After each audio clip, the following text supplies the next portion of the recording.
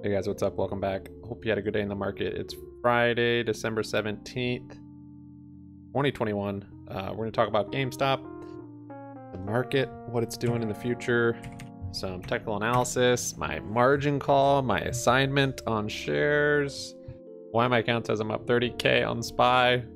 Sub up, like up, comment down. Happy money sticks around. Uh, we have a Twitter. You can follow us on here at Happy Money YT. We also have a Discord server. Link for that is in the description. And RC actually tweeted oop today. So I retraced the other poop tweets he's made, and historically it hasn't caused any price action on the subsequent days. So there you have it. Not expecting anything from that tweet, even though it's always nice to see pile of smiling poop. SPY today, down. Down uh, almost a percent, and seems like it's setting up for a pretty good correction crash, I would say. This triple top it kind of made, and this last one being the blow off the top. I didn't notice it yesterday, but uh, this is actually divergence we have here too on the RSI. Right here and here. Higher highs, lower highs in RSI. And now that's confirmed with today's move to the downside. We have red under the 9 moving average, and looks like the MACD is going to close bearish. So uh, now that it's rejected that that level three times, uh, I think it's probably on its way down. Powell talking about rate hikes three times instead of two times next year and the year after. Um, I've heard, you know, one of the sayings is the first reaction is usually wrong. This was the first reaction from Powell and now we're kind of seeing the actual more uh, rational reaction i think at the beginning of it. So um we do have bearish plays. Two of them on spy got uh, assigned this morning. Or i guess it was last night. Well this morning i woke up and i had hundreds of spy shares and covered calls. So whenever that got assigned happened to me this morning as well as my put credit spread on gme i had 800 more shares of GME. Yay! Uh, with protective puts on it. Ah. Uh, and I had a margin call for like $700,000. yeah, today was a little stressful working all out. It's, uh, yeah, so we'll get into that. Anyways, um, GME price action looks good. Green over the nine. It's got a bull flag here. I'm, I'm hyped. It was a big day. I'm not trying to get too excited though. I'd like to see these longer time frames shift. Uh, I don't expect it just to V unless we're squeezing. So that's kind of what I've nailed it down to for me. If we do just go straight up and there's no no kind of uh, consolidation and floor building and then momentum to the upside, and it just goes up, I'm gonna say that's probably a squeeze. And up means like you know crazy if it is more momentum and then we start going up, I'm going to say cycles, rollover, pinches, whatever, until we get to a certain point. And if we go past that certain point, which would probably be 350 or so, then I'd say, okay, the squeeze seems like it's on, especially if the SPY is dumping when we're going. So uh, that's kind of my thought on, I guess, the price action last few days. looks good. It's it's building up, but we're still bearish on the daily. Daily MACD is still bearish. Um, we are sample floor, but this this actual this move right here kind of reminds me of back here. Remember back here, bearish MACD. It was just after a peak, bearish MACD. He's kind of grinding up candles. MACD never flipped and then pulled back off. Not saying that's going to happen here, but until we get a full momentum shift on a longer time frame, uh, these short moves, uh, I'm not thinking it's going to be something like this yet, or this. Unless we get a very unusual event like in February where it went like that. So I'm I'm waiting. I'm cautious on opening up. Definitely more put credit spreads. um, yeah, we'll we'll go over my account. It's very confusing. I don't I don't I think I made some money on the spy though today. I don't think I made 35 grand on it, but I think I made a few thousand. The GME positions, I closed most of them, and I actually lost some shares today also. Uh, I got liquidated. I did get liquidated of some of my GME shares. I bought them up here at a nice high, you know, high and proud cost basis, 220 something on my shares. comes down here and we're expecting a lot of upside and I get liquidated. So I, I suck at this. Uh, anyways, yeah. Tesla, we have nice, nice little short-term positions for the upside, but I don't know. I kind of want to open up some bearish positions because longer term, this thing's definitely still bearish.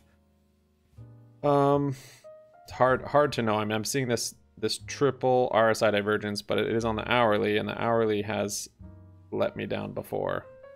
So um, you could say this is just kind of setting up. Uh, no, it's not even really a bear flag. I don't know. We'll see. I, I think this is going to spring up. I think we're going to see some upward price action on this before it goes down. Because uh, because of yeah because of that TA. But longer term, it's definitely I think still coming down.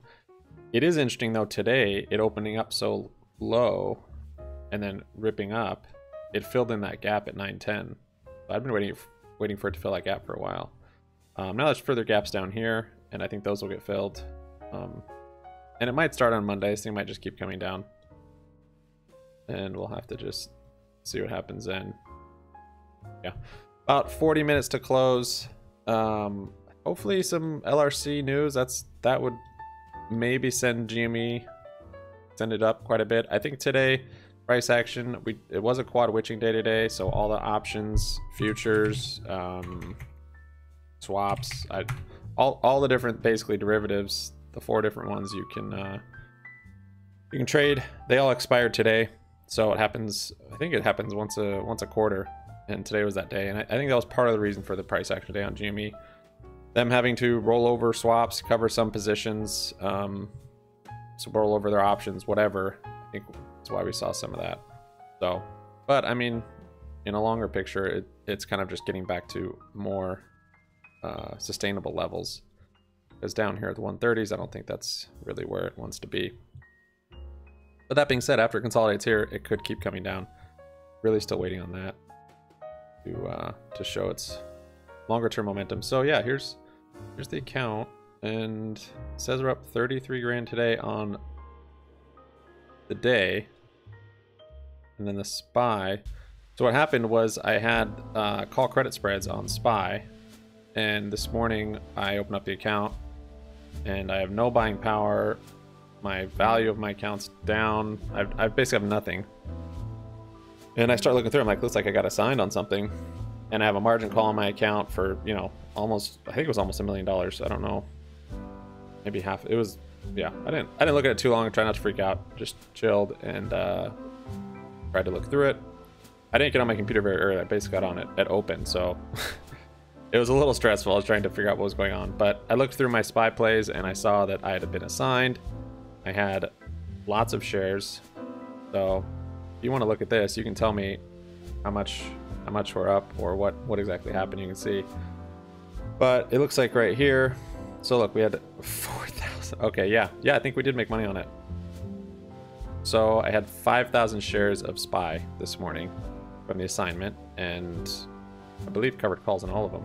Yeah, 50 covered calls. So what happened, I believe, is SPY opened up and went down, and the covered calls, the calls lost value quickly, and I was just watching it and trying to just figure out when to close it. And I, I wasn't even sure. It's, it's hard to think when things are happening so fast, and it's large amounts of money that, yeah. So yeah, here's here's half a million right here, 414,000 and this one is 1.8 million. So, anyways, um, yeah. So I, yeah, 1.8 million, and there's so maybe the margin call was for like 2 million. I don't know.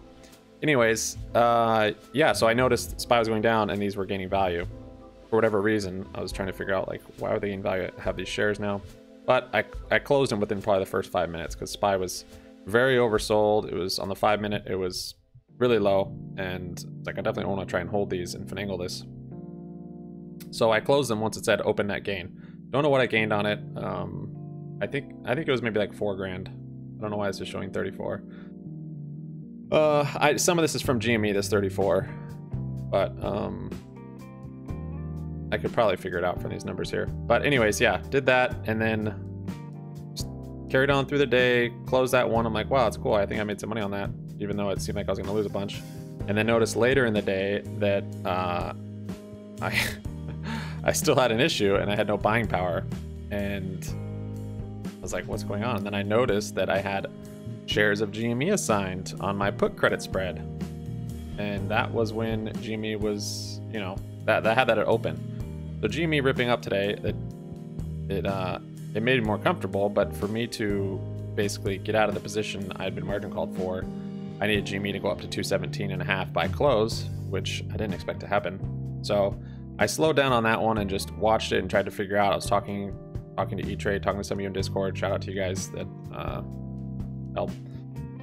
Um, and kind of just trying to figure it out. And basically, I was, uh, yeah, I didn't have enough buying power to roll over this put position or this credit spread or to even close it because I was negative on it. Um, so their margin requirements on GME again are still super high. I think they're 100%, uh, and maybe 200% for short position. And when I'm have a credit spread, I have a short position on one of the legs. So I think it's pretty jacked up, especially because uh, especially because the the borrow fee on GME is it's not indicative of it having such high margin requirements.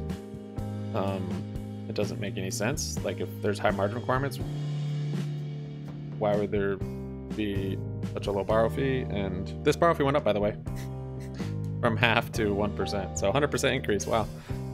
Uh, yeah, and there's apparently plenty of shares to short and whatever, but they want high margin requirements on it.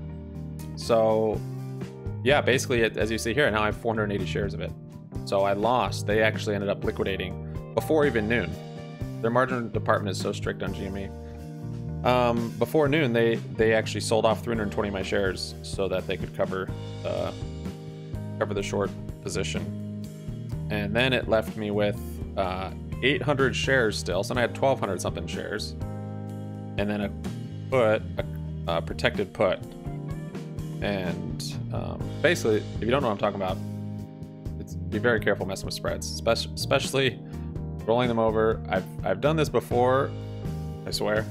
no, I've done this before where I, I, waited too long to roll, and once they get the money, it's best to roll before expiration. Um, I think some of you were saying it's maybe hedge funds that were exercising or assigning them so early. There's no reason to do that that early, but I'm not sure. Um, but anyways, so I closed. Yeah, so they took my shares. I was trying to figure out how to get them back. I didn't have any buying power, and then I ended up just closing the 800 shares that were assigned to me with the protected put, and uh, and I got my buying power back. So now, I mean, I lost on the trade, and this this one I'm actually gonna let go, or I closed I closed the other one. GME, I'd like to roll this put credit spread, but uh, I don't want to get just excited on just this one day action because I, I want to see some longer longer term momentum, like I said. Uh, but yeah, so I decided not to roll the other put credit spread. I still have this one for next week, which is much closer to the money. Those other ones were uh, like over 200, so it would have been hard. And that being said, I might sell puts to get my shares back. And once once I think the momentum shifted north. So anyways, I have cash buying power now, and I maybe made money on a SPY assignment. And uh, yeah, this is where we're at. And uh, yeah, let's see what else we did today. Very confusing. Very, very, very, and the way it's laid out is very confusing on E-Trade, and then how stuff like just doesn't work or it says something weird. And so I don't know if I'm doing something wrong or if it's not displaying it right. So every time I try something, I'm basically closing out, opening it back up, and then sometimes it would work. Uh, yeah, the squeeze is going to be crazy. I'm glad I have multiple brokerages, but yeah.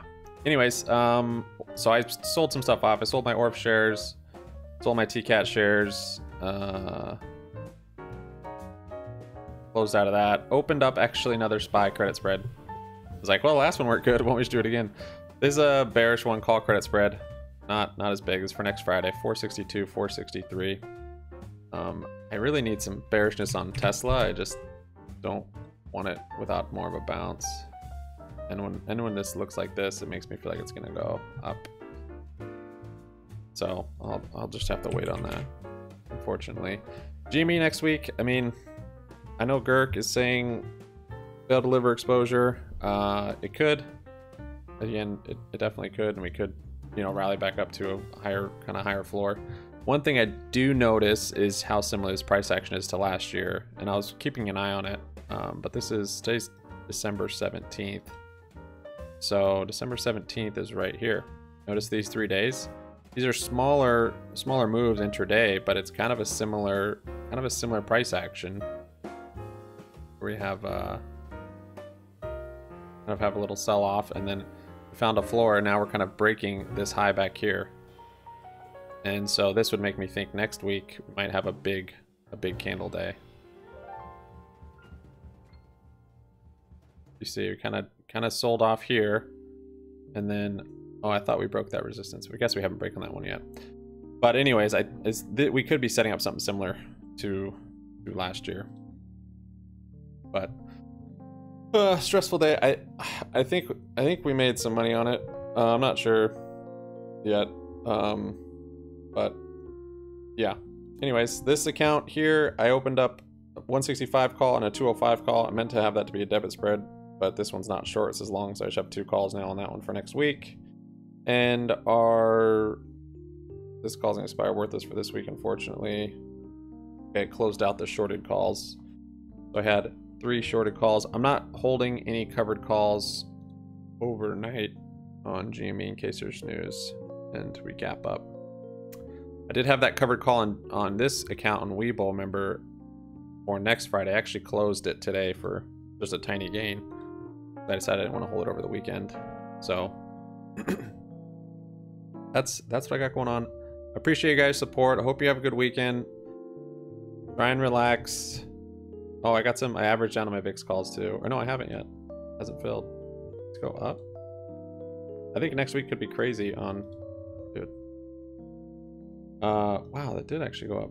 I think next week could be crazy. The market could really take a dump next week. So, I probably should be selling more shares. Starbucks puts are up. They unionized, I guess. Went, It's gone through somewhere. Uh, yeah. I probably better get off to make sure there's nothing else I have to do here. See you on Discord, guys. Thanks for joining and viewing. Peace out.